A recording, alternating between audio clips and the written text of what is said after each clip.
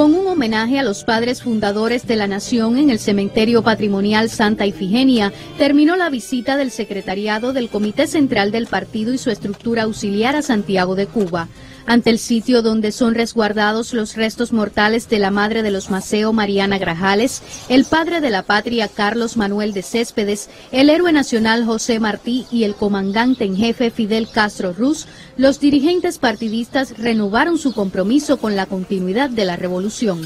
Posteriormente, la comitiva recorrió el Camposanto y rindió tributo a artistas intelectuales y otros próceres cubanos frente a su sepultura. Luego de haber visitado alrededor de 500 lugares de interés socioeconómico e intercambiar con el pueblo santiaguero, llegar a Santa Ifigenia es nutrirse de valores patrióticos y de la historia del país como punto de partida para avanzar con certeza hacia el futuro. Desde Santiago de Cuba, José Antonio Salazar y Rocío López Pardo, Sistema Informativo de la Televisión Cubana.